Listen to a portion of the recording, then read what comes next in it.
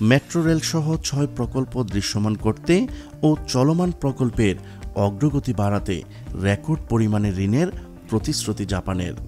ERD সচিব ফাতিমা ইয়াসমিন ও বাংলাদেশে নিযুক্ত জাপানি রাষ্ট্রদূত নাওকি ইতুর সঙ্গে ভার্চুয়ালি বিয়াল্লিশতম ঋণ প্যাকেজ নিয়ে বৈঠক হয়েছে। নতুন ঋণ প্যাকেজে বাংলাদেশকে নামমাত্র সুদে উনত্রিশ হাজার একশো চুয়ান্ন কোটি টাকা ঋণ দেবে বাংলাদেশের অন্যতম উন্নয়ন সহযোগী জাপান। জাপানের বিয়াল্লিশতম অফিসিয়াল ডেভেলপমেন্ট অ্যাসিস্ট্যান্ট বা ওডিএ ঋণ প্যাকেজের আওতায় বাংলাদেশ এই অর্থ পাবে। জাপান বিশ্বের সত্তরটি দেশে ওডিএ ঋণ দেয়। সত্তরটি দেশের মধ্যে বাংলাদেশ সর্বোচ্চ ওডিএ ঋণ পেতে যাচ্ছে বলে কমিটমেন্ট করেছে দেশটি। এই ঋণে সুদের হার হবে বার্ষিক শূন্য দশমিক ষাট শতাংশ। দশ বছরের রেয়াদ সহ চল্লিশ বছরে এই ঋণের অর্থ পরিশোধ করতে হবে।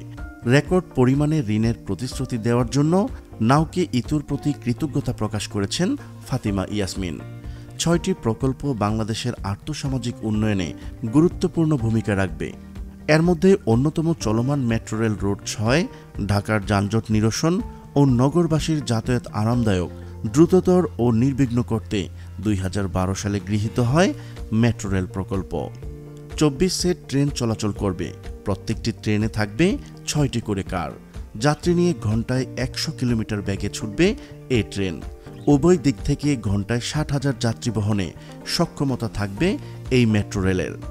প্রকল্পের মোট ব্যয় একুশ হাজার নয়শো পঁচাশি কোটি টাকার মধ্যে প্রকল্প সাহায্য হিসেবে ষোলো হাজার পাঁচশো চুরানব্বই কোটি উনষাট লাখ টাকা ঋণ দিচ্ছে Japan International Cooperation Agency JICA. মাতার বাড়িতে বারোশো মেগাওয়াট কয়লা ভিত্তিক বিদ্যুৎ প্রকল্পকেও ঋণ প্যাকেজের আনার অনুরোধ করা হয়েছে। করোনার সংকটেও দ্রুত গতিতে এগিয়ে চলেছে কক্সবাজারের মাতার বাড়িতে কয়লা ভিত্তিক বিদ্যুৎ কেন্দ্রের নির্মাণ কাজ। প্রকল্প থেকে মিলবে বারোশো মেগাওয়াট কয়লা ভিত্তিক বিদ্যুৎ। ঢাকার যানজট নিরসনে বিমানবন্দর থেকে কমলাপুর স্টেশন এবং নতুন বাজার থেকে পূর্বাচল ডিপো পর্যন্ত একত্রিশ দশমিক চব্বিশ কিলোমিটার দীর্ঘ এমআরটি লাইন এক নির্মাণ করা হবে। দ্বিতীয় রুটে মোট দৈর্ঘ্য ছিল ষোলো কিলোমিটার। এটি Aminbazar Gabtoli Asad gate, New Market, TSC Ittefaq মোড় হয়ে সায়দাবাদ পর্যন্ত বিস্তৃত। এ দুটি রোটও অন্তর্ভুক্ত করার অনুরোধ করা হয়েছে।